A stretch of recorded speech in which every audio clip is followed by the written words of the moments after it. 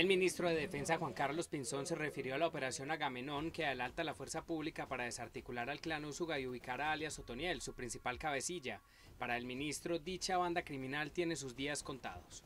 Esa operación implica la captura ya de 320 miembros de esa organización, de todos los niveles, logístico, de la parte dedicada al narcotráfico, de la parte armada, de todas las estructuras. Y yo creo que esto ha ido desarticulando de manera fuerte esta organización. En el informe especial de Teleantioquia Noticias, tras los pasos del clan Usuga, se reveló la estructura de esa banda criminal y su capacidad para exportar hasta 80 toneladas anuales de droga desde la región de Urabá cifra que fue confirmada por el ministro. Son cifras de ese orden, del orden de unas 70, 80 toneladas.